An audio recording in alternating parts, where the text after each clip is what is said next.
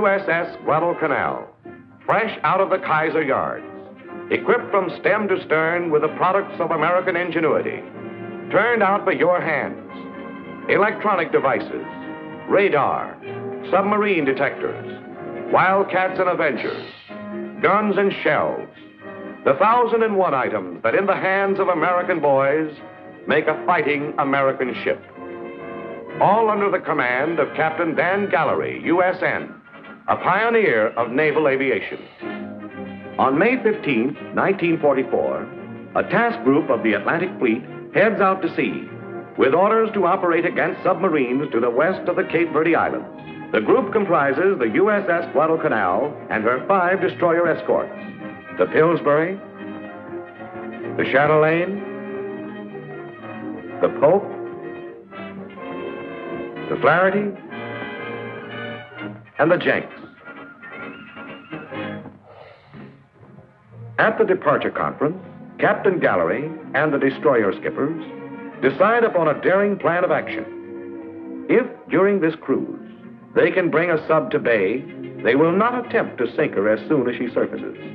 Instead, they will spray her with small stuff, put crews over the side in small boats, and attempt to board and capture her. Daring, did we say? Fantastic is the word for boarding a wounded U boat on the high seas. But the prize would be priceless. Naval intelligence could use a completely equipped enemy vessel. So during the voyage, prize crews were trained and rehearsed for this bold hope. Here's the hand-picked boarding party of the Guadalcanal. Let's meet some of them. Chief photographer's mate Clifford Werle. His job will be to get inside the sub, take pictures of all installations in case she cannot be kept afloat. Chief pharmacist Raymond Jackson, Fredericksburg, Virginia. He served 10 years in the Navy. Lieutenant J.G. Milo Keck, a veteran sea dog with 25 years naval experience. Ensign Fred Middaugh, an electrician's mate first class William Stein. Stein, a crack electrician, will assist Ensign Middaugh in the job of checking the batteries and all operating motors of the enemy vessel. Ensign James Griffin and machinist mate second class Walter Waller. Ensign Griffin will check the sub's diesel engines. Waller is to be engineer of the party's whaleboat. In command of the boarding and salvage party is Commander Earl Trosino engineering officer of the Guadalcanal. Over on the USS Pillsbury, a similar party is being trained by Lieutenant Albert David. On June 4th, 1944, the task group is searching for a sub reported 150 miles off the coast of French West Africa. When suddenly, at 1110, Frenchie to Blue Jay, I have a possible sound contact.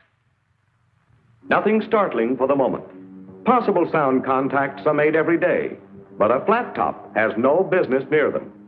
With her high freeboard and her thin skin, she is a sitting duck for any sub which surfaces within torpedo range. So the Guadalcanal swings away, while the two nearest destroyers break off to assist the Chatelain, which has made the sound contact. And the Guadalcanal's patrol of two Wildcat fighters is ordered to the scene. Then Commander Knox of the Chatelain announces Contact evaluated as sub. I'm making attack. Almost simultaneously, both fighter planes sight the long, dark shape of the submarine running 60 feet below the surface and sing out Sighted sub. At this point, the sub reverses course, temporarily shaking off the destroyer. But the Wildcats can see the sub and reveal its position by firing their guns in the water at the spot where the sub is disappearing. This is a remarkable example of aircraft actually directing the attack of a surface vessel on a U-boat. At 1121, the destroyer makes a depth charge attack.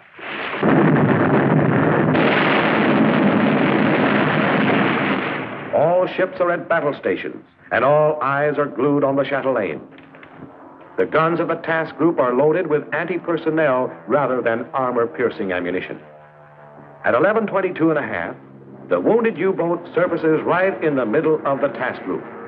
Commence firing. The planes open up first.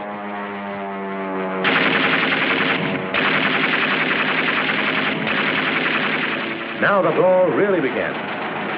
Go it on, lad.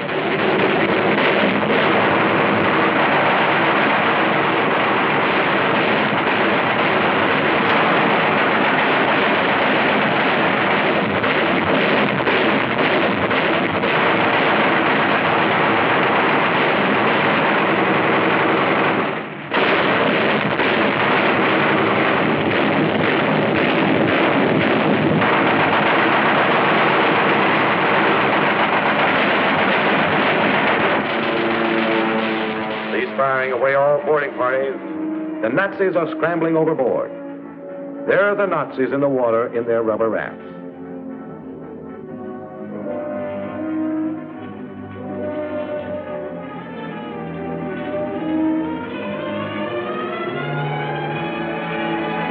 But there may be more on board ready for business. Away all boarding parties.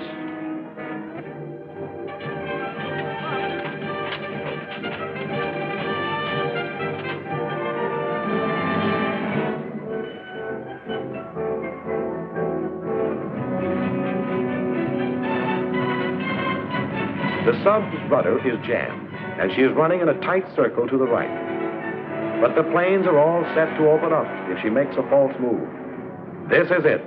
For the first time since 1815, the United States Navy boards a foreign enemy man of war on the high seas.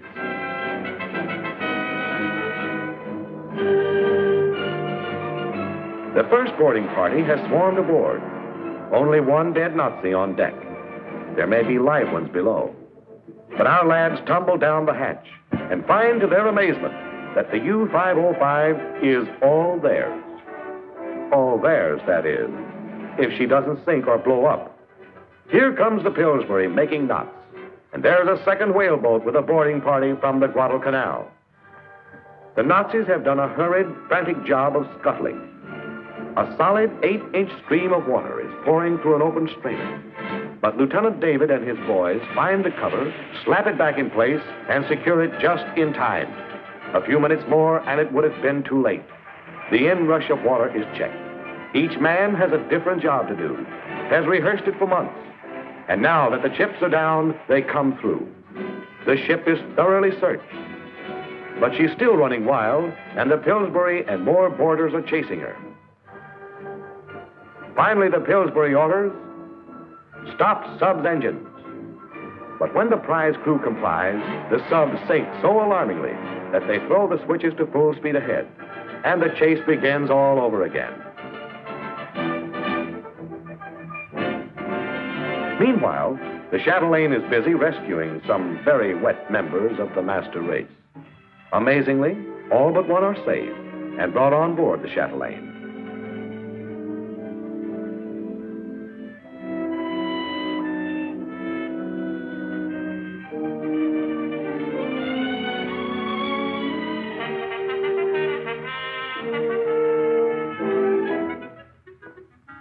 Dry clothing and cigarettes are passed around. The tradition of the sea is honorably and punctiliously respected. These men are the cream of the German Navy. They just can't believe that their ship has been captured, and by members of a decadent democracy. At last, the Pillsbury comes alongside and passes a line to the boarding party. A neat bit of seamanship. But watch out, that sub is still as dangerous as a wounded shark. She swings into the Pillsbury, and her bow flippers rip a long underwater gash in the DE's thin plates, flooding two main compartments clear up to the waterline.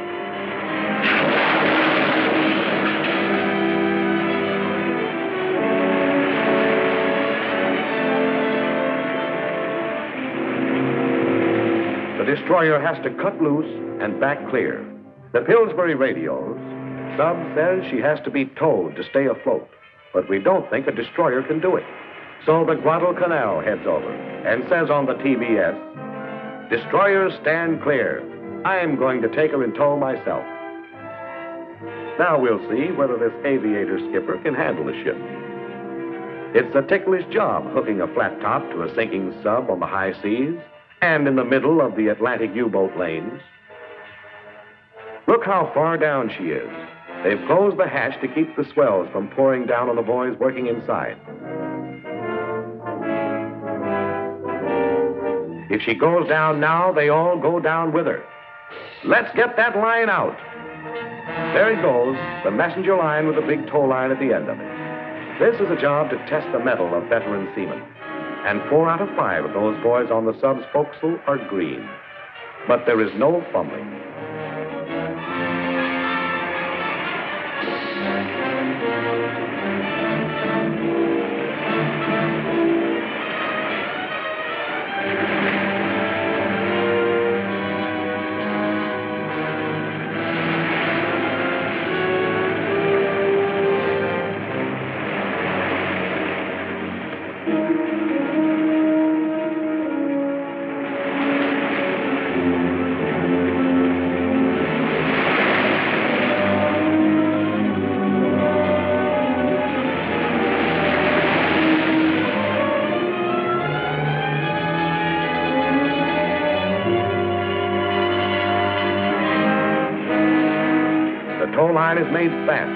And the anxious skipper heaves a sigh of relief as the sub makes way and rises in the water.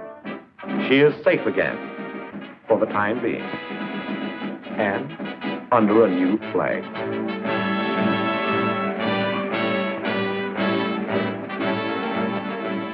The task group forms up and, on orders from the Navy Department, heads for Bermuda, a grueling 2,500 mile haul with a riddled, waterlogged U boat in tow. Normal flight operations are resumed and carried on day and night, despite the greatly reduced speed of the Guadalcanal. At times, there are only 15 knots of wind across the flight deck, and it's axiomatic that a flyer has to have 25 knots to land on a baby flat top. But these pilots land anyway, and without an accident.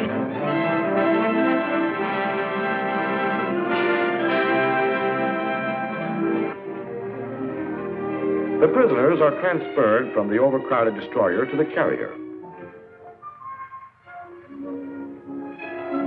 The one in the stretcher is Oberleutnant Jerzy Herr captain of the U-505. The first man out of the conning tower. He was instantly blown overboard by a shell.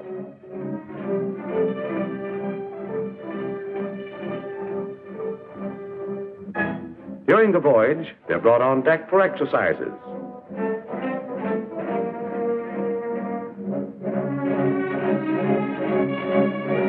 And a thorough salt shower.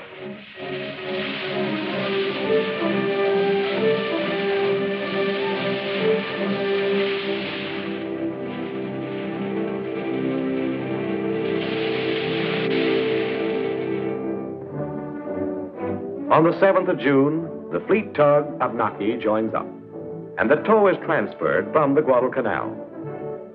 Now comes the most anxious moment of the cruise. As she loses way, Junior, as the crew have christened the sub, sinks lower and lower in the water. The salvage party works desperately to take all movable weights out of the U boat. Then, as the transfer is completed and the Abnaki gets underway, the clutches on the sub's engines are released, and her propellers recharge her batteries. With power aboard, her pumps work once more, and her tanks are blown out. Now she rides again at full surface trim. On June 19th, the U-505 was towed into Bermuda, and there remains as a prize of war, one less wolf to hunt with the pack.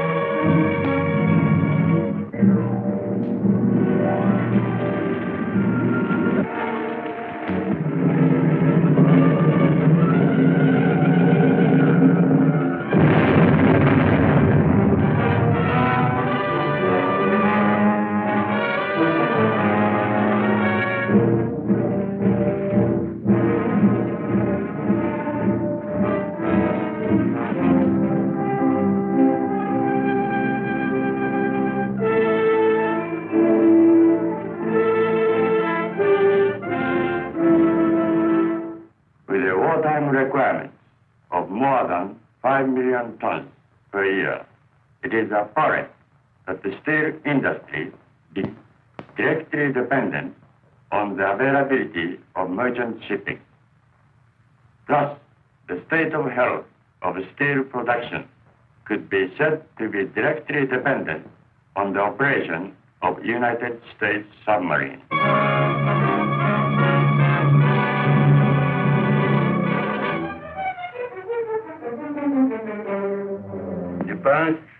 Chief wall came from America in the years prior to the war.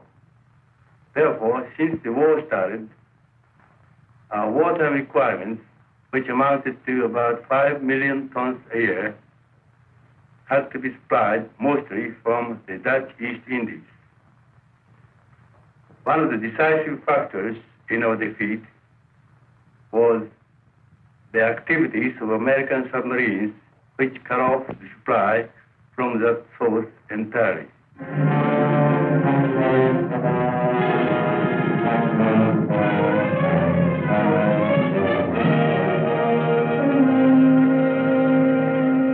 Our records show that about 36% of the major vessels, that is vessels larger than destroyers,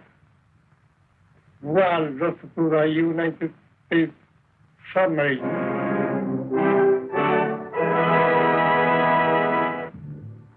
Actually, Admiral Nagano is pretty accurate in his estimate. The latest reports, and we've checked and double checked them, show that one battleship, nine carriers, and 15 cruisers of the Imperial Japanese Navy were sunk by Allied submarines. He might have added, though, that 42 destroyers and 28 submarines were sunk in the same way. Not a bad few years' work. By the way, I noticed the Admiral didn't give any figures on their merchant marine. Well, that's understandable. It must be quite a painful subject to him. There just isn't any more Japanese merchant marine. Our submarines accounted for 63% of that important branch.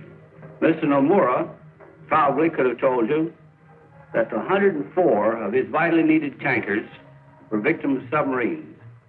Their merchant marine was destroyed on the high seas, in the ports of the Japanese Empire, and even in the shallow waters off the China coast, where the submarines had to operate as PT boats since there was insufficient water for diving.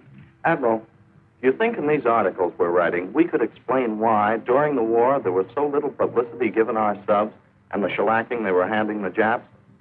I wish you would. It was just something that couldn't be helped. At the beginning of the war, some civilians visited the front and then broke into print and they got back about how American submarines didn't fear Japanese destroyers. They boasted that the nip depth charges weren't big enough to hurt us and weren't set deep enough to reach us. You can imagine how joyfully the Japs received that news. They radically changed their tactics and they lost, I should say, about 10 submarines with all on board before we could improve our construction sufficiently to slow the Japs down. Is that when you became the silent service? Right then and there. We buttoned up our lip and said it was torpedoes. Besides, there was too much work to do to permit talking about it. Just visualize the spot we were in, December 7th, 1941. There wasn't time to be bitter. It was up to us, the small ships. The big ones were out of the picture. Yesterday, December 7th, 1941, a date which will live in infamy. The United States of America was suddenly and deliberately attacked by naval and air forces of the Empire of Japan.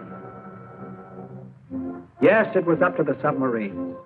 At that time, we had exactly 51 submarines in the Pacific, and that included 12 of the old S class. Small and slow, but they gave a good account of themselves.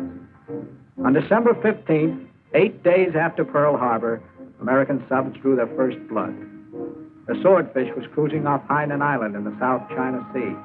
On the radio, they could hear the voice of a Japanese woman speaking faultless English. Later, she would become famous as Tokyo Rose.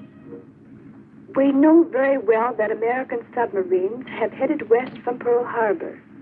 If American submariners are wise, you will turn back. Certain death awaits you over here. And now I'll play for you, unfortunate Americans, a popular recording.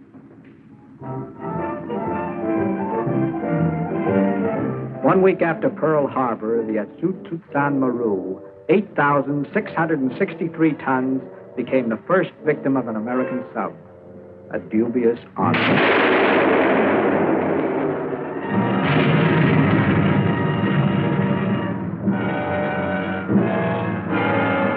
It wasn't long before she had plenty of company at the bottom of the ocean. On the 1st of January, the 5,384 ton Tainan Maru was sunk right off the very coast of Japan.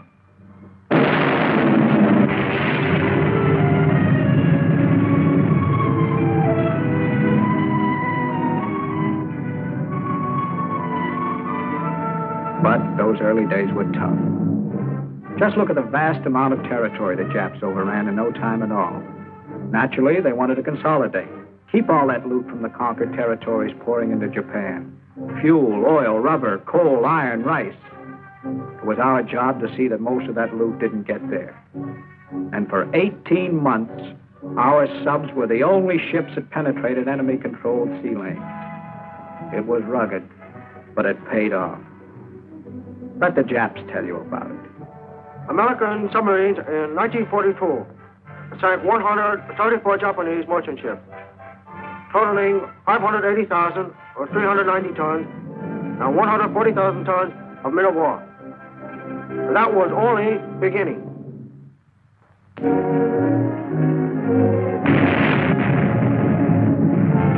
Yes, only the beginning. Even newly commissioned subs got big scores. For instance, the Trigger. Her story starts in Mare Island. That's the way she looked to me the first time I ever saw her. I was reporting as mess attendant. Got to be officer's cook first class time I was transferred. She didn't look like nothing much to me right then. Just a lot of pipe and steel. No life, no spirit. But I felt a little better when I saw the galley. Small but clean, the latest in devices. A man sure could get a mess of cooking done in there. But all in all, I sure felt let down. I said to myself, man, what possessed you to volunteer for the subservice anyhow? Next time you keep your big mouth shut. I began to feel a little better, though, about the trigger when we got underway. There was just something about it. Well, by the time we reached Pearl, the trigger and me was friends. She sure won me over. How'd you do it? Well, well, I tell you, shippers. Well, it's like exec says. He says, I don't find it any easier than the steward to put into words what I feel about the trigger. I think it's that all ships have souls, and all sailors know it. But it takes a while to learn to commune with it. It took me quite some time. But when it happened, it was our first patrol and our first kill. Off the eastern coast of Kyushu, a good-sized freighter. Clear the bridge. Take her down before we're spotted.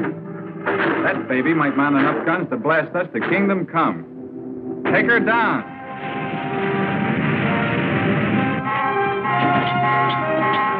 That's secured, sir.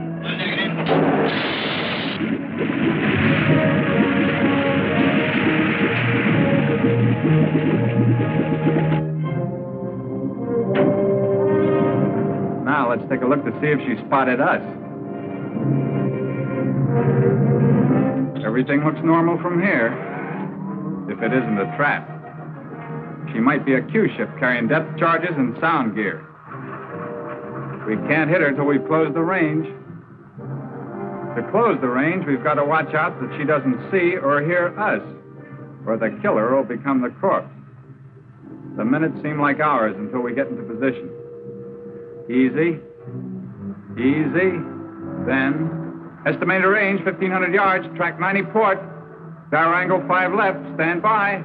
He's coming on, coming on. Fire one. Then, eight seconds. Fire two.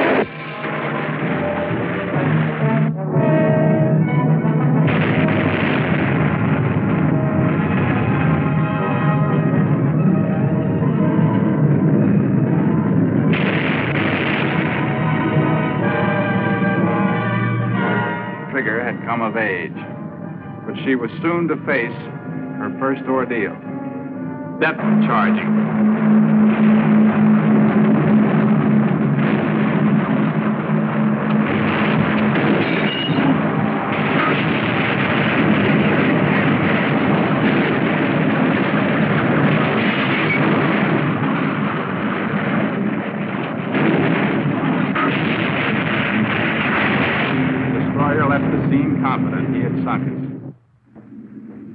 Several nights later, we heard Tokyo Rose on our radio.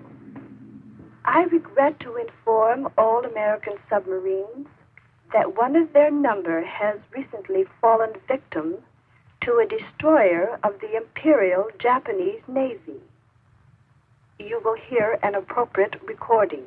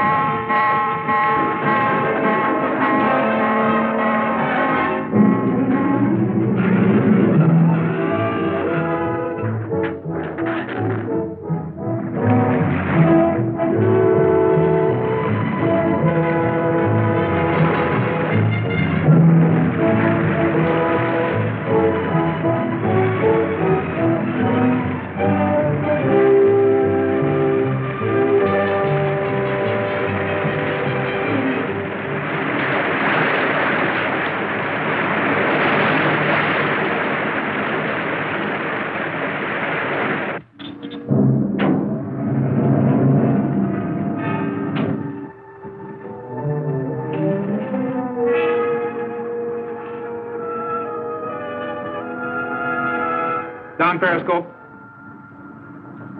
Up periscope.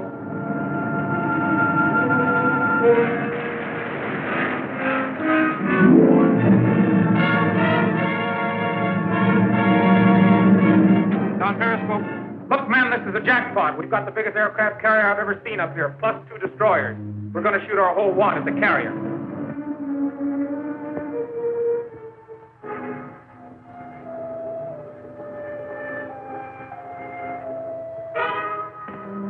Periscope.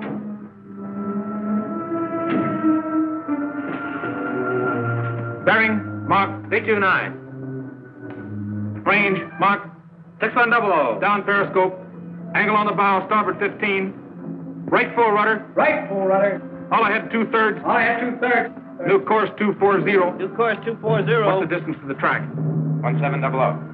Control six three feet. Control six three feet. Forward torpedo room, make ready all tubes. Forward torpedo room, make ready all tubes. Set depth 12 feet. Set depth 12 feet. Rate for silent running. Rig for silent running. Rate for depth charge. Rig for depth charge. Steady on 250. All ahead one third. All ahead one third. How much time I got? None, sir. Torpedo run 1100. Range about 1600. Gyro 005 increasing. Shoot any time. Stand by forward. Stand by Up forward. periscope. Check bearing and shoot. Bearing. Mark. 345. Down periscope. Set. Fire. Fire one. One fire third. Fire. Fire two. Two fired. Fire. Fire three. Three fired. Set. Fire.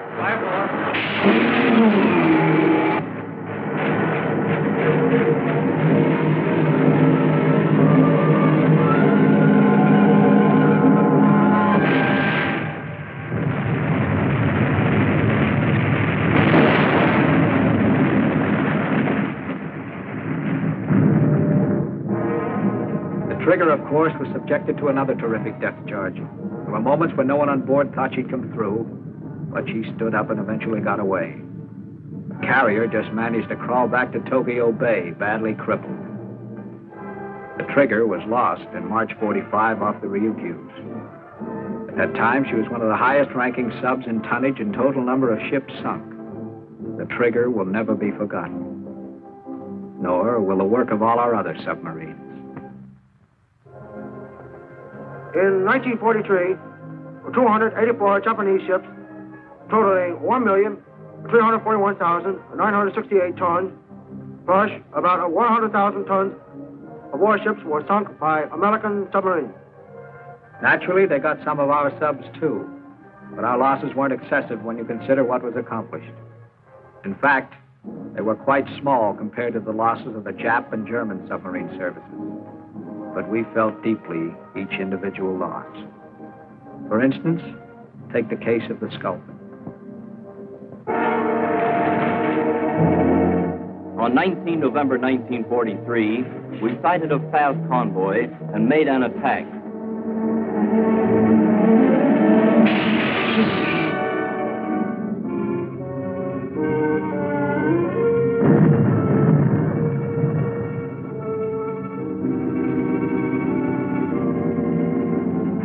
Their screen detected us and immediately subjected us to depth charging.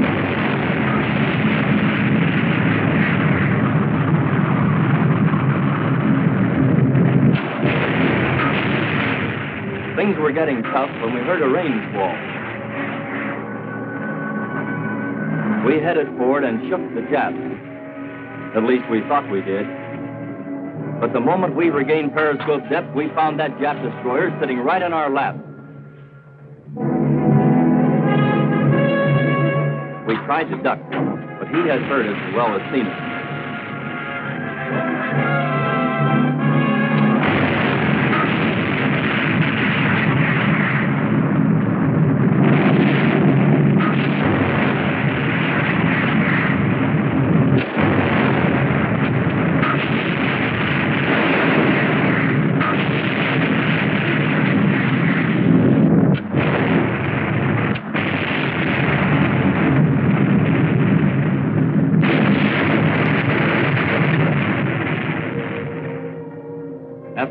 Five hours, the batteries were almost flat and the men completely exhausted.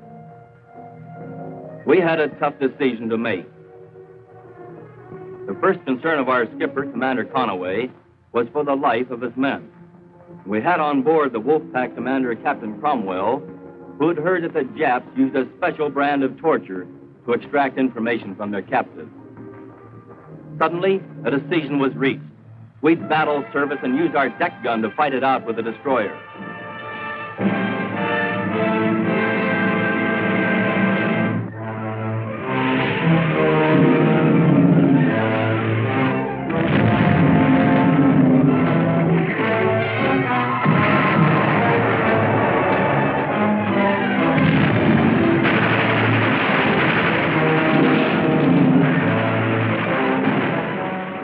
Connaway and the next two in command, Lieutenant Allen and Lieutenant DeFrees, were killed almost instantly. I succeeded to command.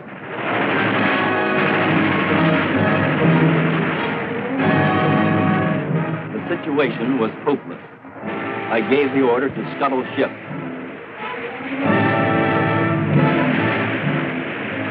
Captain Cromwell chose to go down with the boat because he knew too much. Ensign Max Fiedler also went down with the Sculpin.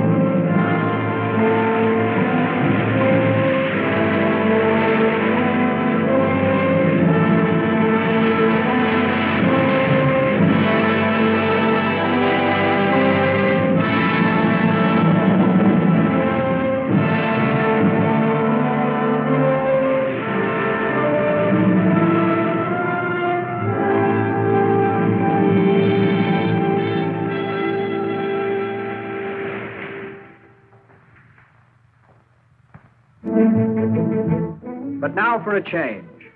It was a very pleasant phase to our activities. Patrols were tough on bodies and nerves, so we arranged a program of relaxation and rehabilitation between runs that was the envy of every branch of service. With the approval and backing of Fleet Admiral Nimitz, our commander in chief, we took over the Royal Hawaiian Hotel in Honolulu, lock, stock, and barrel, and we said to the submarine men, It's all yours. Other operating forces also had quarters at the Royal, for it held about 150 officers and 1,000 men. But the majority were always submarine men and aviators from the carrier groups.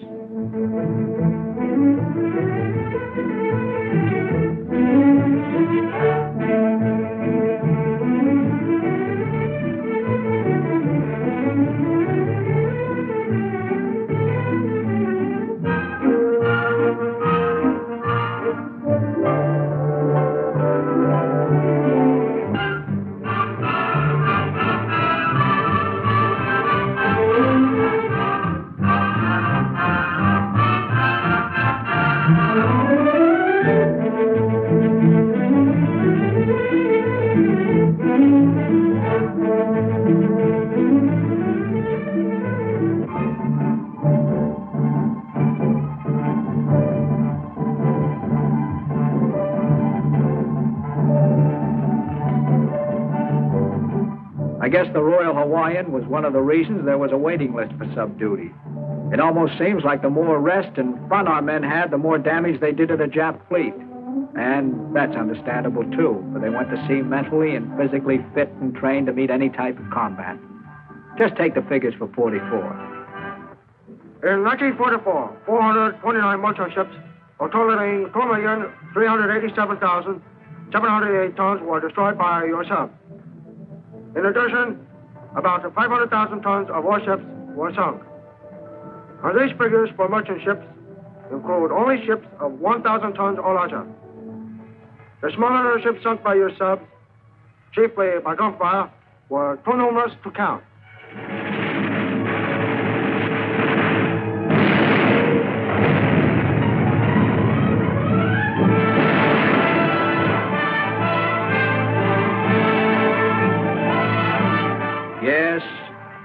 Jap fleet was just about shot. In fact, by 1945, targets were getting awfully scarce and awfully small. What was left of Jap shipping tried desperately to crawl home, hugging the coasts. But our subs went right after them, right into the dangerous shallow water, right along the China coast and into the mine-filled Yellow Sea. We gave them no rest. This was about the time of the big carrier strikes and the B-29 raids in the homeland, which brings up another interesting phase of submarine work. Lifeguard duty. That is, the picking up of our downed aviators. We had quite an air-sea rescue system worked out. It didn't get much publicity because we didn't want the Japs to know about it. I'm an electrician's mate second class. Of course, that means I don't get to see much topside action, so the other day I says to the chief, I says, um, hey, chief, how about me getting on the gun crew? He thought I was kind of crazy wanting to be topside with the others, but he finally gave in, and here I am.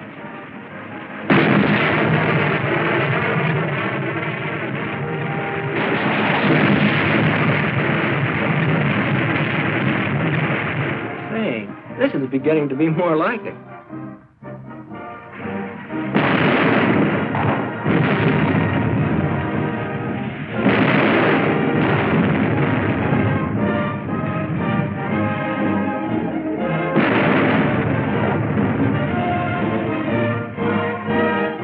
That's one load of fish that won't end up in Jap bellies. How about this? Prisoners. Welcome aboard, boys. You'll find conditions a little cramped, but we'll treat you right, feed you well, even though you don't deserve it. I'd always heard that Japs would, would rather die than be taken prisoner, but these guys don't seem to object to our rescue efforts. Wait a minute. We've got something. Our B-29 is in trouble. We've got him on radar, but the lookouts haven't spotted him yet. Say, this lifeguard stuff is new to me, but it has its exciting moments.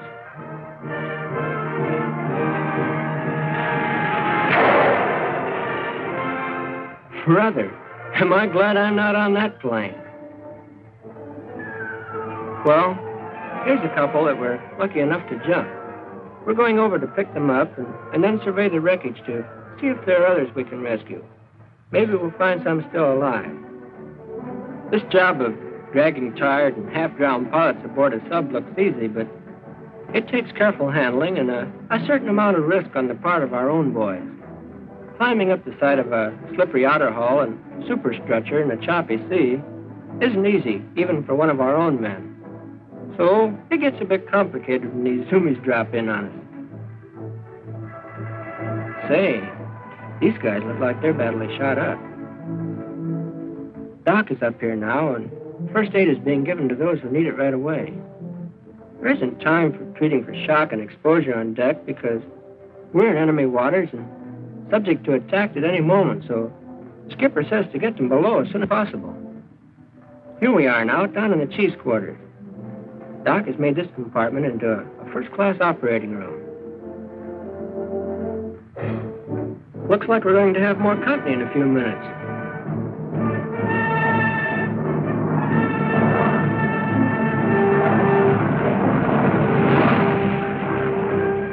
You know, this picking up of flyers is getting to be quite a habit with us. Of course, most of the guys here on the sub would rather be firing fish or the deck guns, but it's a great feeling to be able to rescue a swell bunch of fellows like these, and, and it's a relief to have somebody new to swap yarns with after being out here for so long.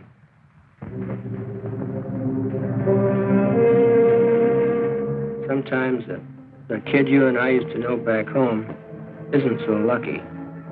We're doing all we can. No sign yet, but we're not giving up. Well, we tried, but he didn't make it. But we'll make it up to him. We'll save as many of his buddies as we can. Yes, many of that boy's buddies were saved. At one time, we had 22 submarines on station whose primary duty was lifeguarding. All in all, we rescued more than 500 Army, Navy, and Marine aviators. The submarines were proud of that work and eager for the assignment. But in the last months of the war, it didn't supply enough action to satisfy them. So, as you'll see, they figured out some special assignments for themselves. And very interesting, too. During the summer of 45, the Tirante was in the same fix as all the other subs. No targets really worth wasting the taxpayers' torpedoes on. Or we managed to amuse ourselves. Shot up a few picket boats and other small craft. Knocked off a sea truck. Raised some mild hell in a general way. We played pirate and boarded some junks. Scared the crews half out of their yellow skins and gave the deep six to a lot of dried peas bound for Japan.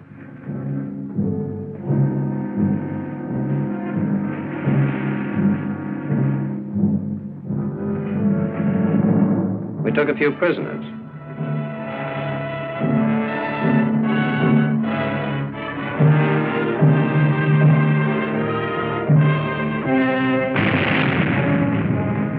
Exploded some mines. But there was nothing to write home about, even if we could have written home. Then one morning, we sighted a ship in the distance. It looked like it was tied to a dock alongside a colliery. We kept it under observation for about an hour.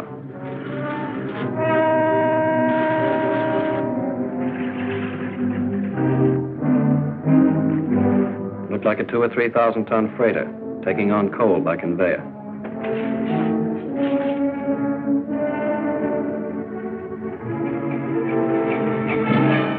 War council.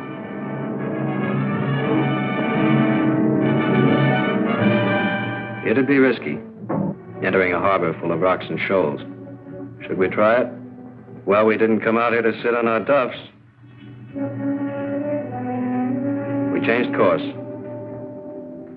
Then the skipper, as he always did, spoke to the crew. Fellas, I think you might like to know what we're up to. There's a two or three thousand ton freighter in the harbor tied to a colliery dock, taking on coal. That's the biggest ship we've seen so far, and targets are too scarce these days to let any pass. On the good side of the ledger, I can mention these two items. One, there seems to be a lack of patrol craft in this spot, and two, I don't think there are any mines because there's an awful lot of small craft around. Now, on the bad side of the ledger, the harbor's full of rocks and shoals, and navigation's going to be tough. We'll make a submerged attack, but then we'll have to surface and highball it out. If we're caught in here, submerged, it'll be just too bad. However, we have the best navigator in the business. So what are we waiting for? Let's go. Ballast is submerged. We got into position. Went through the preliminaries. Let me tell you, right here and now, when the real thing comes up, it's like nothing you ever went through in your life. When that scope goes up in this harbor, you're playing for keeps. Your blood pressure tells you that.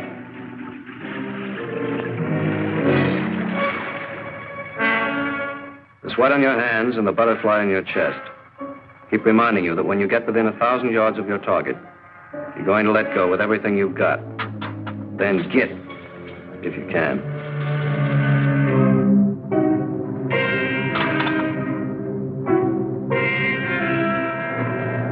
The exec's look confirms it. We're dead on. And coming closer. Closer.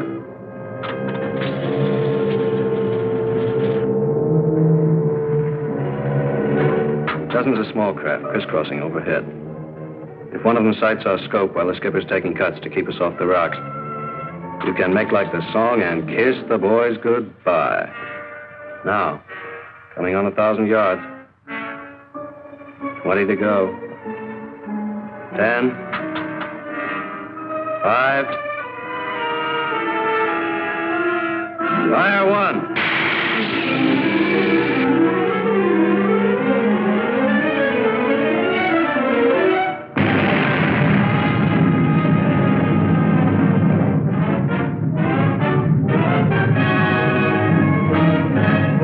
Look at him scramble. Nuts. She's listing to port and down by the bow, but still afloat. Hey, wait a minute. They manned their deck gun there on the right. Looks like they think a plane got 'em. But we can't surface while that gun's still in business. All right, then, let her have another fish, just ahead of the stack. Polish off ship and gun crew both with one blow. Fire two. Swing left again. Sonar reports fish ran true but suddenly stopped. No explosion. Must have buried itself in a mud bank or a torpedo net. But there's not time to speculate. The Nip gun crew spotted our periscope. They're taking pot shots at us. Better slip another fish, and quick. Steady on 280. Torpedo run, 750. Depth set, two feet. Gyro angle, 038. Fire three.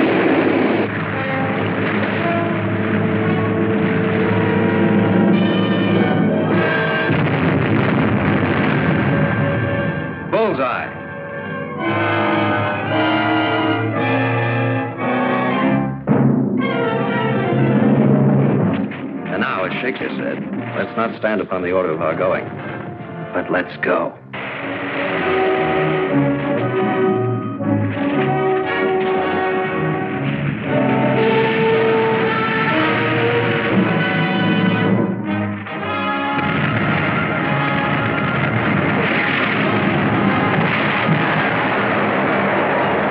They've got a nerve shooting at us. What kind of hospitality do they call that? All right, now let's show some speed. Wait a minute. We must have surfaced too fast. The bow plane should have folded up like a fighter plane's wings. Stuck out like that, they'll drag our speed down till the Japs can catch us with a rowboat. And that's not all that can catch us. Come up, come up. There. Steady as you go, sweethearts. Now we can highball for deep water. But the Jap fire's getting closer. I'm beginning to sweat again.